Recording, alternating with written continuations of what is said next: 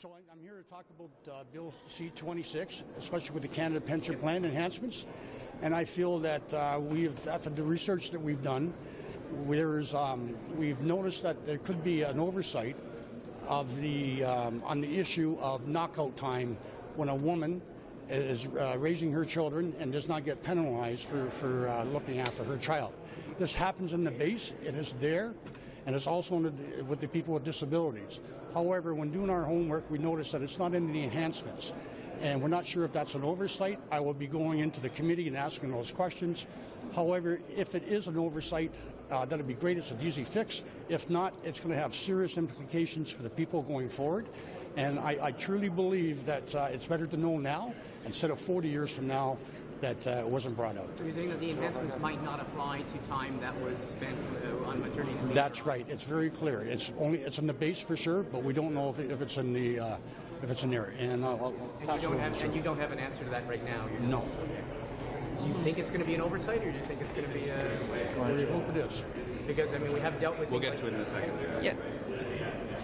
Well, as the critic for persons living with disabilities, I know I have a heightened awareness of the fact that we have people that are already under financial stress that are being left behind in an enhancement to the CPP, and that's supposed to be the purpose of the CPP, is to alleviate uh, these financial stresses. So this oversight is very disconcerting, and we, you know, is this an oversight or is this something that, you know, should be more meaningfully consulted? What kind of consultations did take place?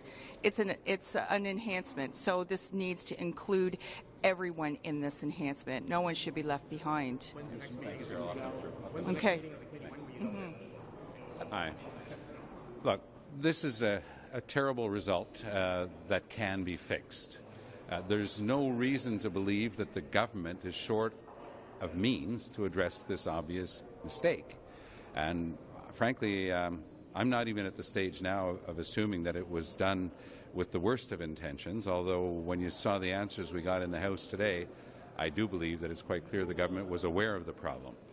Il est évident pour nous c'est un, un problème auquel obvious for us that this is a problem that can easily be fixed, and uh, we're looking for solutions today. It's unthinkable that in 2016 that we change the rules with regard to pensions at the federal level in a way that makes them less just for women and for handicapped persons.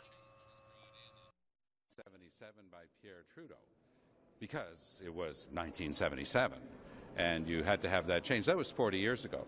To see the government actually proposing changes that go backwards from that protection for women's rights is frankly astonishing, and we're going to assume good faith and we're going to point out the obvious problem and call upon the government to get it fixed as soon as possible. It's inconceivable for the NDP that the federal government is actually going to push through changes to the Canada Pension Plan that will make things even more unfair for Canadian women and for those who live uh, with uh, handicaps.